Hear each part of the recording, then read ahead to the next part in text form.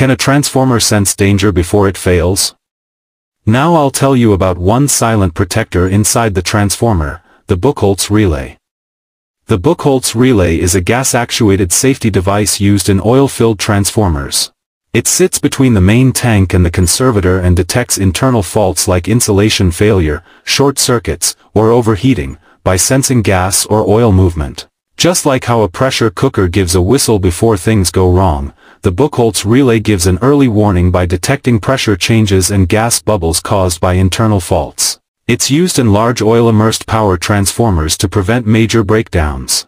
It gives time to isolate the fault before severe damage occurs, saving the transformer from costly failure and fire risk. It's commonly found in substations, power plants, and industrial transformers. So yes, transformers have a safety whistle too, it's called the Buchholz relay. Like, share and subscribe.